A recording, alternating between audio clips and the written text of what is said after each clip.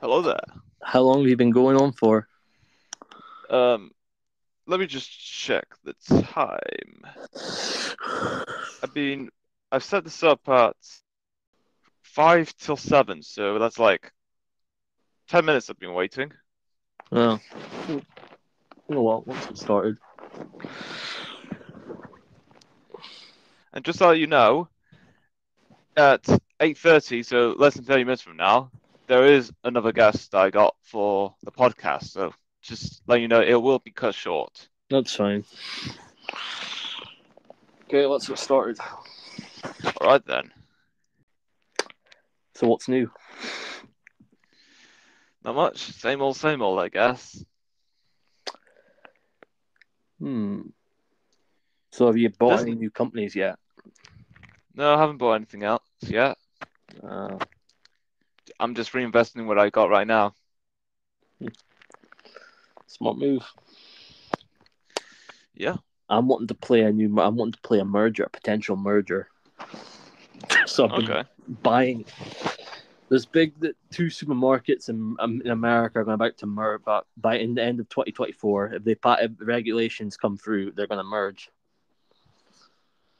Hmm. So I'm playing both sides. I'm buying. All right then. They merged to basically they're merging to basically compete with like the likes of Amazon, Walmart. Ah.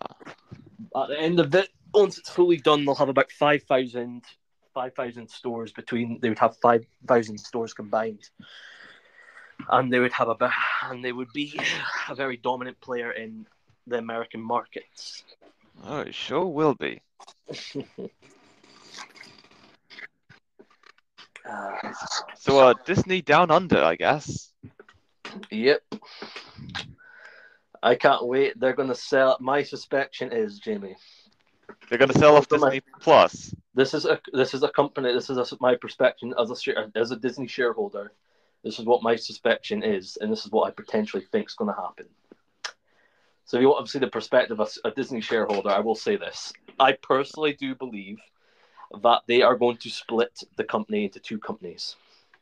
Oh. I believe the fee. I believe the theme park and the cruise business will become one separate entity, and I believe they're going to package all their shitty stuff that nobody gives a fuck about into a separate company and then blast it off in the air. Basically, use it as a way to get rid of the scrap and the shit that nobody wants, while making money off it. So the people that are very diehard about Disney and the ones that love the Disney, the movie business, they can buy that business, and it's, it'll be an easier way for them to be able to sell their assets. Hmm. And people So are saying, but what about? And they're going to say about what? But what about licensing rights for that? Before they set up, before they leave, they let they set the licensing rights as perpetuity. So basically, basically they're never going to be able to. They make as long as they set it to the point where they make a deal with the with a new company, basically before they do merge, and basically say we'll do a, a deal where this where this is non-negotiable, and you're basically going to give us lifetime access to this thing until we decide, until we become become until we become insolvent or we potentially die out as our own company or get bought. As soon as they get bought, then that's another story. But Hmm. All right then. I think they're probably potentially going to have a similar deal to Marvel, right? Uh huh. Marvel, the Marvel Cinematic Universe, and that Marvel streaming rights, and that they give anybody that does it. If they don't get used, they get they if they don't get used in a certain time, they revolt back to that old company, to the old company. But I do personally believe they're going to split that company up into two: movie business, cruise lines, and hotels and theme parks. Ah. So they're going to separate the holiday real estate and the media, by it seems. That's my suspicion. Either I mean, that, uh, either that, or I, I also potentially think they might be willing to spin. If they, they can't get an acquisition for that, I think they might be willing to potentially spin off all their to linear TV assets into a separate, spin off it into a separate company, right? And basically just allow, and then whoever wants to buy that, they can buy it. Oh. Because let's be real here, I'm sure there's going to be some venture capitalist fucker will want that those assets and just buy them on the fucking cheap, and Of then course, of course they would. have a profit. That's what I think will happen anyway. Okay.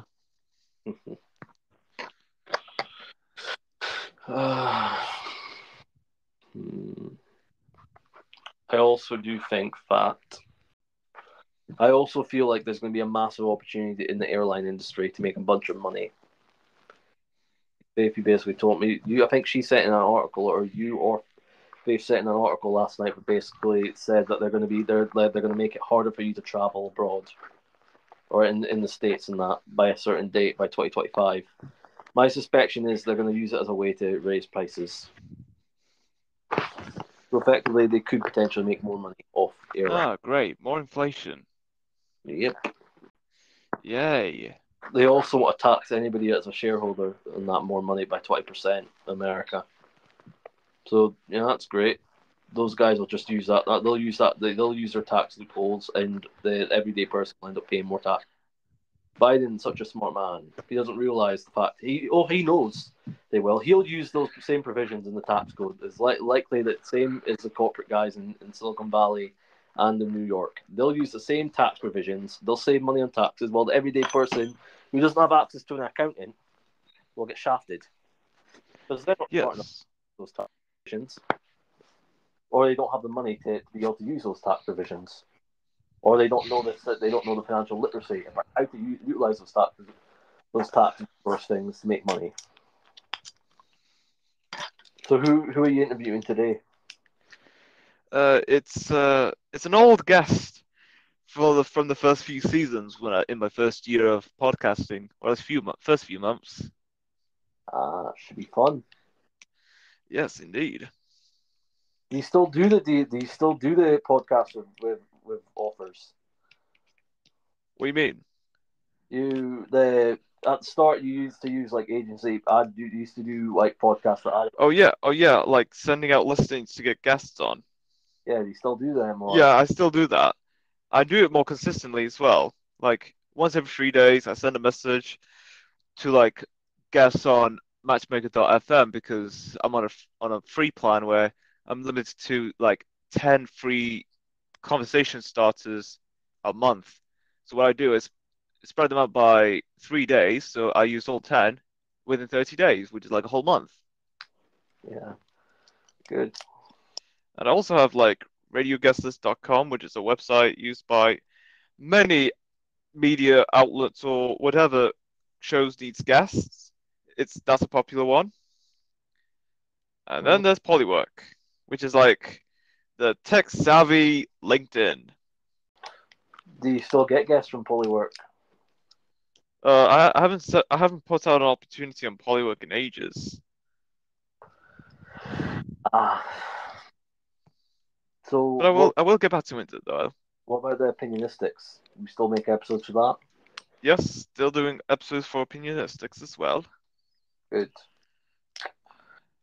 Uh, podcasts are fun, but once you've done enough of them, you kind of want to just Just settle down and just enjoy life. Yep.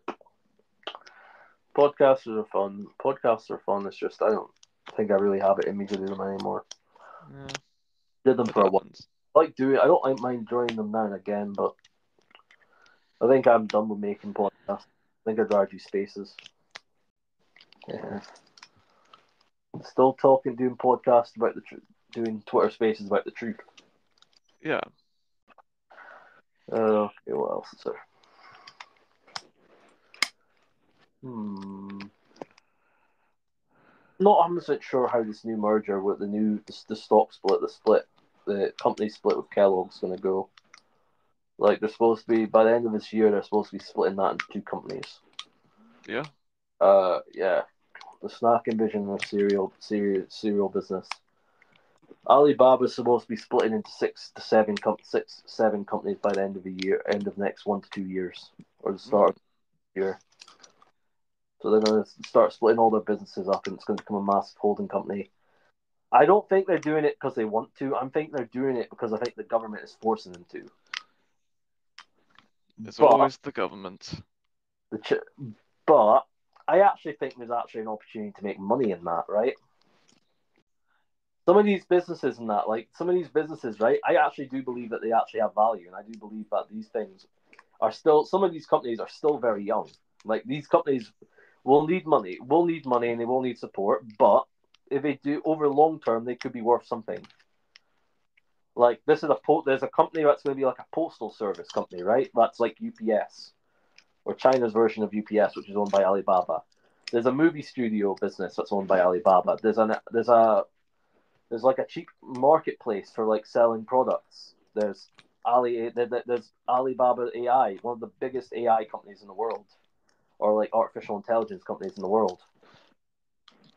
But it's supposed to be splitting as well. But all all of Alibaba's companies are splitting. They're partly saying it's going to unlock, it should unlock value for shareholders. I think it will unlock value for shareholders. If you if you buy the stock when it's fucking cheap in that, I think you will make some money off it.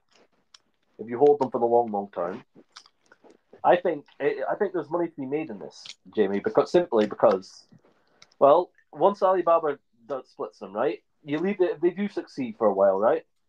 They do. They grow. They, they grow the business. They grow the business for a bit, right? A couple of years from now, they could be acquired by some other big firm, right?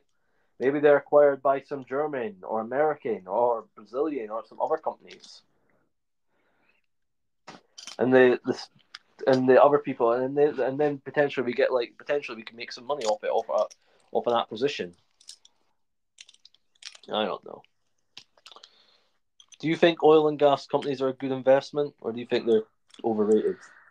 Uh, it's both overrated and on the verge of kapoof. You know, like the dinosaurs. I don't think it's. I don't think oil and gas is going to go away anytime soon. Well, if, if they're going to go to renewable energy, then yeah, they're still going to be around, but they're going to have to find alternatives to extracting oil because there's not many of it left. Who says we need that? There's offshore wind.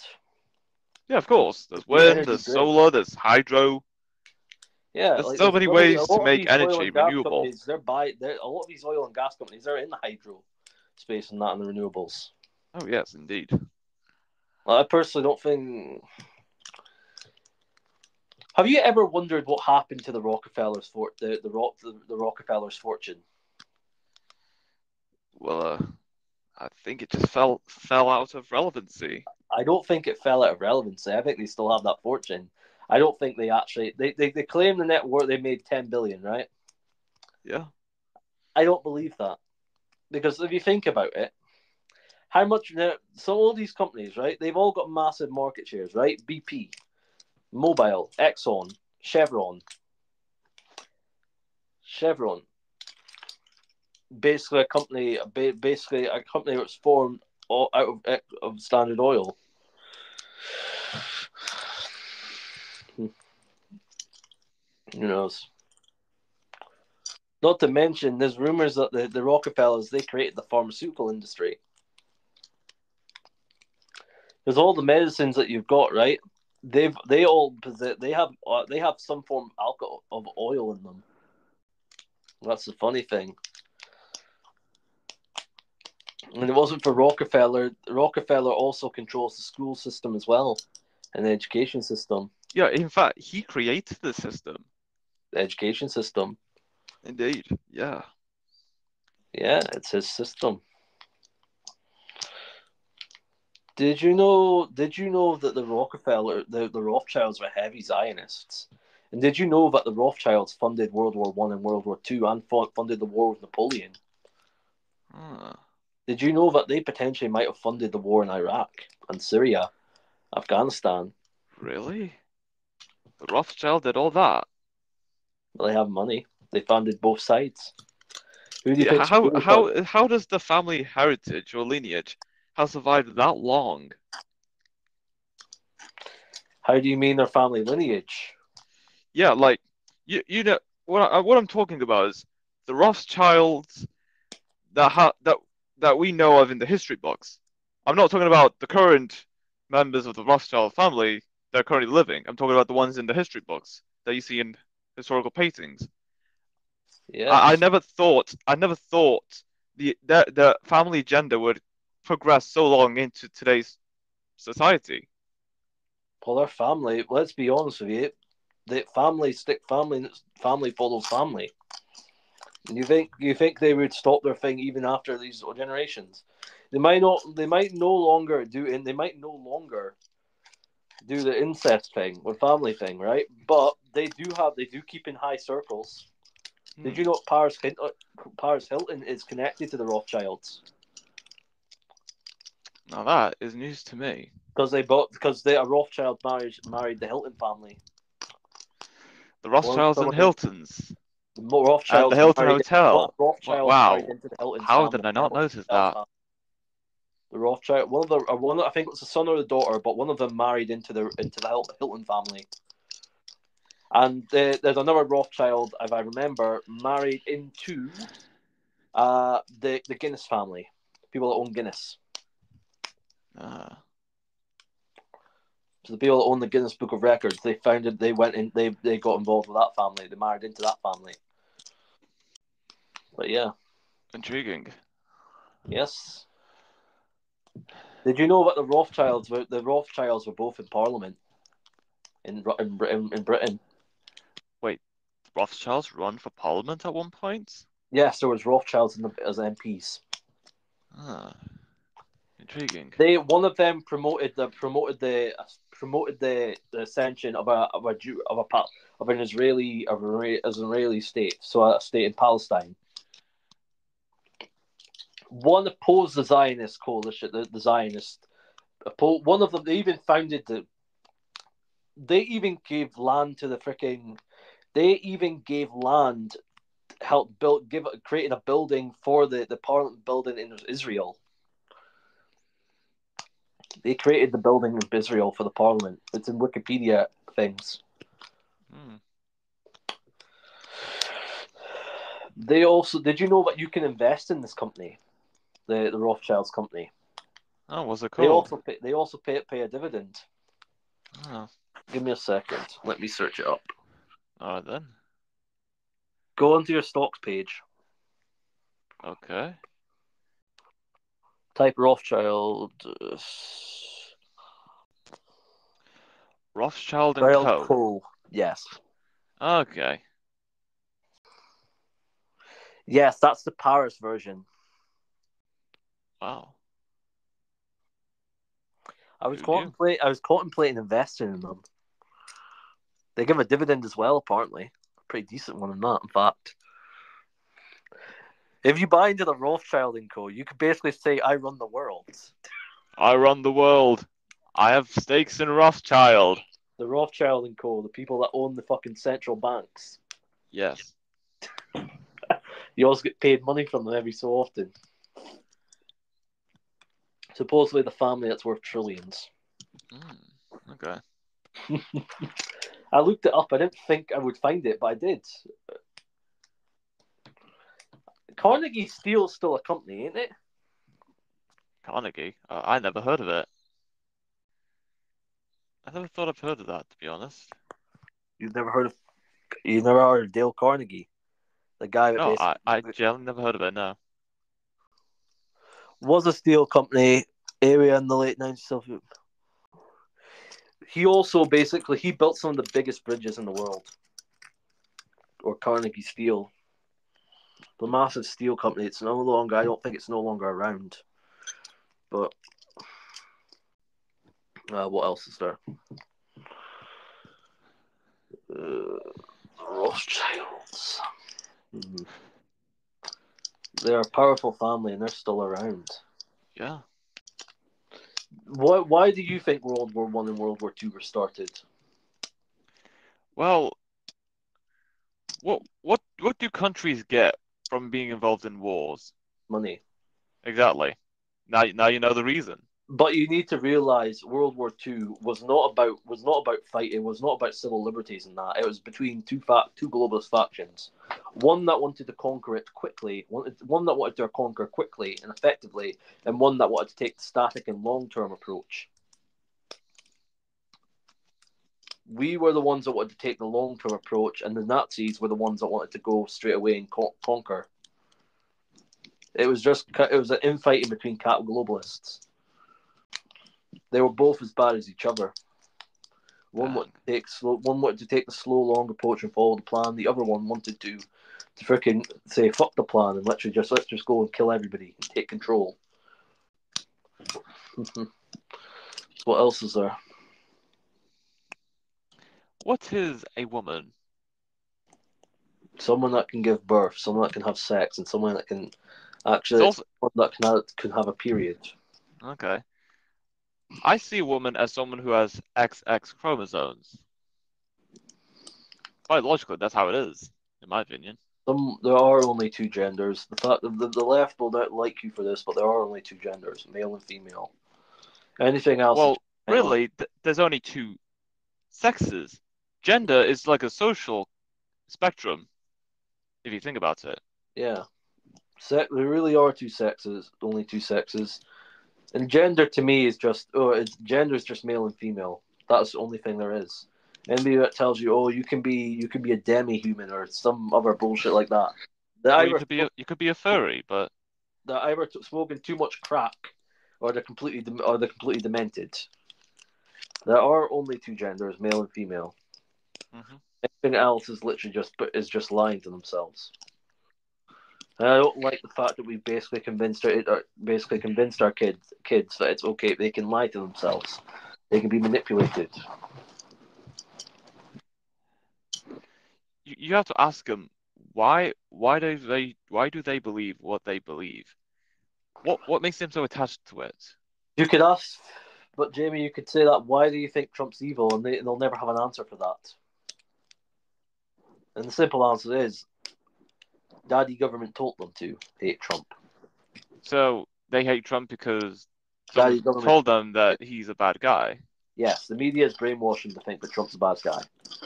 That's why they. That's why they. That's why they hate him. They hate him so much because the media hate.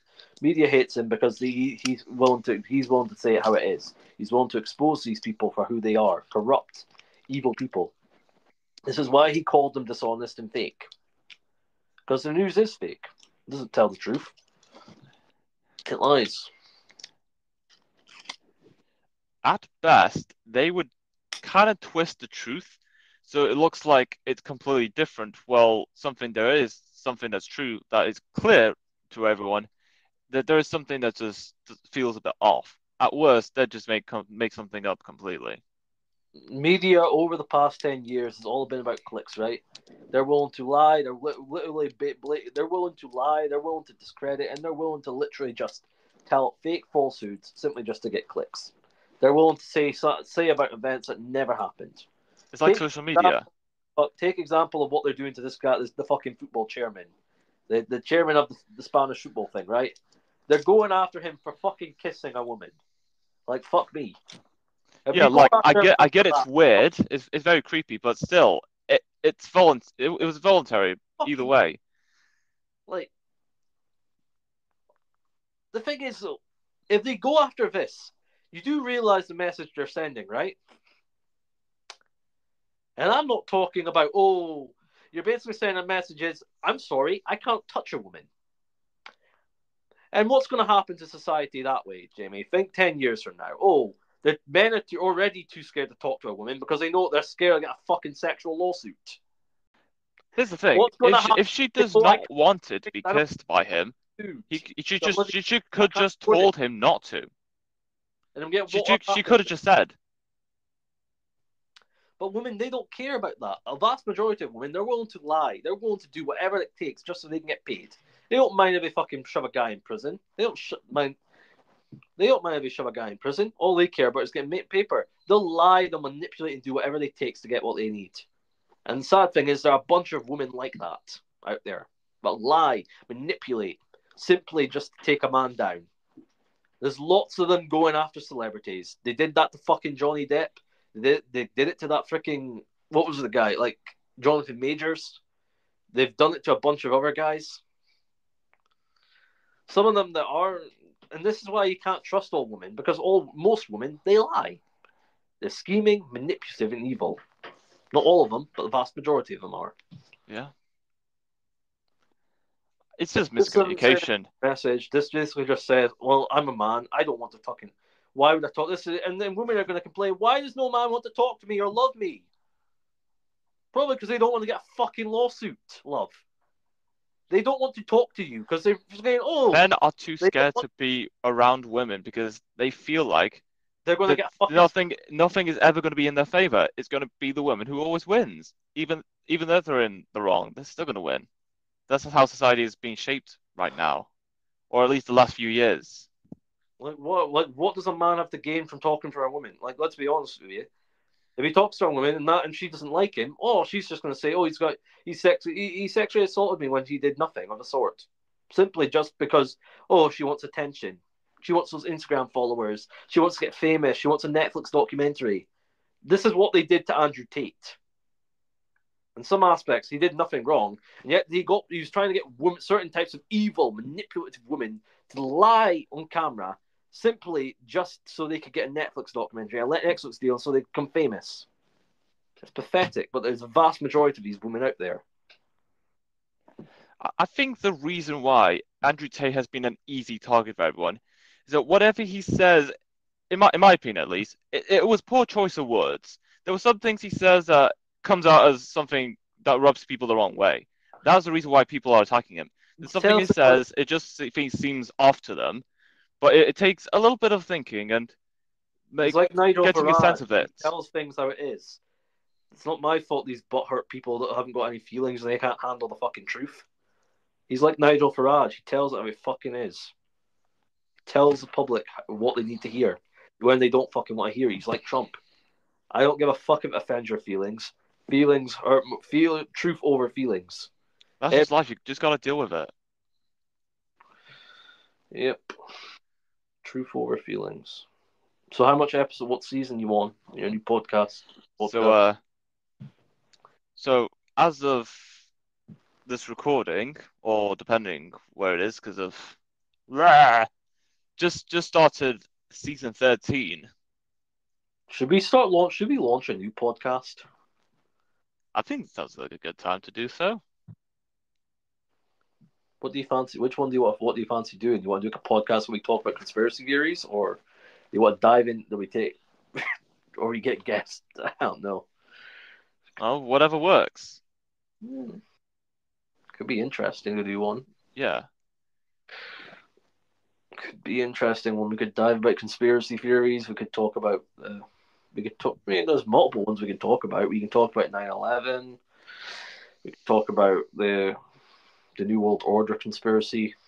We can talk about the ones with the Rothschilds, Rockefellers. We should dive into the Titanic fit, the thing with Titanic, and like what happened there, what supposedly happened there. Because if you think about it, if you look at it, right, J.P. Morgan was supposed to go on the Titanic, right? All the guys that are on that ship, right? Yeah. All the guys that are on that ship, right? They all opposed the Federal Reserve, right? Guess what happened? All those men died. John Jacob Astor, James Gubbenbelt, Gubbenbelt, Mr. Gubbenbelt, and John Jacob Astor. John Jacob Astor, Mr. Guggenheim, and a bunch of other, and I think it was the Pont or something like that, or a bunch of other ones. And Morgan was supposed to go on that thing, but he designed. And a couple people, 200, I think, people cancelled on that fight last minute. So I'm guessing they had a change of heart and they decided, you know what? I think Mr. I think these I am I the only one that thinks that, you know, these people that stayed on the ship, right? Those rich guys that stayed on the ship, right? Yeah. They knew for a fact if I if I don't leave this ship, if I leave this ship, they're going to come after me and kill me. Should I just die on the ship? People say, but you've got a question if Titanic wasn't wasn't designed to happen. But what have you've been told that the Titanic never actually sank? It's another ship. The reason they sh- they sank what it was called the Titanic is just to get insurance money. That's that's one side of the story I've heard about the Titanic. The Titanic was insurance money, but they also tried to get rid of a bunch of elite guys, elite ba- elite people, some very Oh yeah, very that, no, that that I know of. very, very, very powerful men. Men that opposed the Federal Reserve. Men that wanted didn't want the Rothschilds fucking thing, and they all get what did they get for it? Death. They got death. They opposed they opposed the opposition of a federal the, creation of the Federal Reserve, and they got death. And then a couple of weeks later, a couple of months later, they launched the Federal Reserve because they had no opposition Yeah. Which was basically the American bank, the American Federal Reserve or the bank in America. Yeah. Before then, what were they paying with? Hmm, good question. Gold? Yeah, of course. It is valuable at the time. They did. They did pegged it once Nixon depegged the dollar from the gold from gold, off the gold standard. That's when the debt became. That's when things got bad, because the, Amer- the American dollar is not pegged to anything apart from or apart from oil. They took they took gold off of or they took go- the dollar off of gold, but they backed it against oil. That is what the oil. Uh, people say the dollar is backed by nothing. It's backed by oil. It's by But the value of oil can that's what- fluctuate. That's what created the petrodollar, right? The petrodollar Yeah. is basically what replaced the gold standard. And the petrodollar is what basically petrodollar is basically a deal they made with a Saudi prince back then that basically said that you're going to use we're going to use we're going to make a deal with America, right? Where they're basically going to use where we're going to only accept you you to use dollars for trading oil. Once you get uh, that, once you remove the trade of oil or the trade of a dollar from oil, and everybody else stops using the dollar for stuff, that's what kills the the dollar because the dollar gets its its money, its power from other people using it. And if nobody Yeah. uses dollar anymore, they so can really, they can no the. U.S. economy is heading Back. down the mud. It's backed by the dollar. It's backed by oil. The U.S. economy is backed by oil. That's the secret. They, when they say, "Oh," when they when people say, "But the the world is backed by oil," they're not joking. It is. The world, the U.S. dollar is backed by oil. It's been proven time after time after time. And I don't actually think printing so much money has actually helped the US dollar. I think it's actually made it worse. But yeah. So, what other conspiracy theories is there? Well, uh, I remember yesterday I was heading to town with my dad to uh, the Northern Quarter. I'll show you pictures of my time being there. Tartarian, Tartarian society. Yes, That's I went. I, there was this restaurant where they accept cash card payments, no cash, and there was Oh. this and the Smart City Tailors, professional alteration and dry cleaning. I think they're sending subliminal messages to people. that Well, this no, is they the new want us world that. order. that they want us to only use cut. They want us to only use card. Yes, they want they want us to pay digitally because uh, They can track. well, who who else can control digitally? Well, the central bank. Well, who can control that? Well, the people that well, the Rothschilds can control that because they they own most of the companies. A vast majority don't own, know this, but the vast majority of Rothschilds. I looked into the ownership of. Uh, I've looked into the ownership of uh, of BlackRock, right? Charles Schwab is a big owner of it. Vanguard is a big owner of it. Larry Fink's a big owner of it. Uh, Fidelity is another one. Bank of America is an interesting owner of it as well. Who owns Bank of America? Because they apparently own a shitload of stock in BlackRock, which is quite interesting. I'd be I'm not gonna lie. I'd be interested to know who owns Rothschild and Co. Wouldn't you? Actually, why don't we? Why don't we discuss that right now? Okay. My guess is it's going to be the.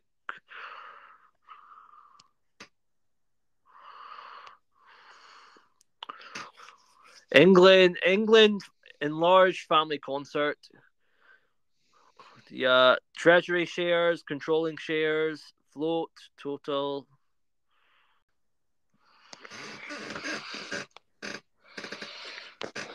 Rothschild and Co. They, they, yeah, they're known to serve the British royal family and the British nobility. Give me a second. Taking a look at it. hmm Rothschild, Cornelia, Rothschild and Co. partners, Rothschild and Co. Murrell Bernard family. Who is Mur- Morel Bernard family? Hmm. That is the Morel Bernard. That isn't that Bernard Arnault, is it?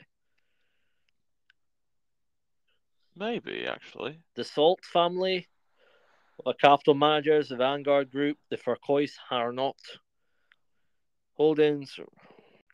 Let's just put it like this: it's not BlackRock that owns them. I think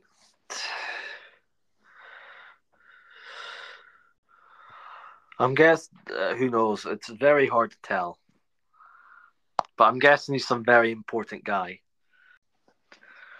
Well, at least now we know who owns Rothschild and Co. They own Rothschilds own fifty percent of their own company. I just hope they don't go after me for looking that up. I don't think if it's a it's a public website, they're not going to go after you, are you? No. Why would why would they go after you for public knowledge? Good point. It's public knowledge. I was just curious. Everyone knows it. But searching for it. They wasn't exactly open. But yeah. I think we'll end this podcast here. All right.